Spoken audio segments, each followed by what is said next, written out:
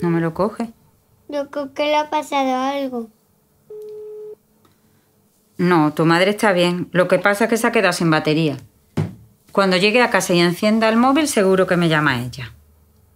Igual papá le ha quitado el teléfono a mamá.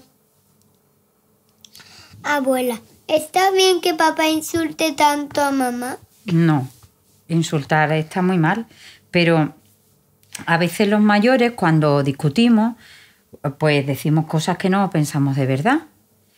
Como cuando tú te peleas con tus amigos en el recreo. ¿A que no pasa nada? No, no pasa nada. Pero ¿y si la empuja? Pues muy mal, porque no se empuja.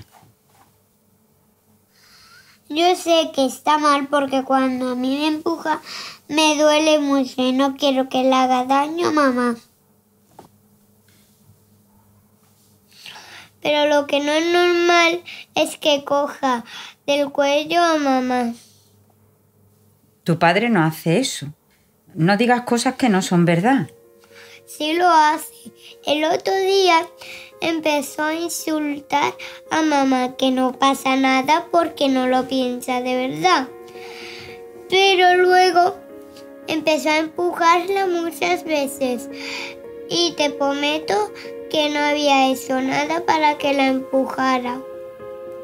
Y luego la cogió del cuello muy fuerte y yo me y yo empecé a llorar. Y me pareció que no estaba bien. Pero eso cómo va a ser? Te lo prometo. Y si nada de eso está bien porque lo hace papá.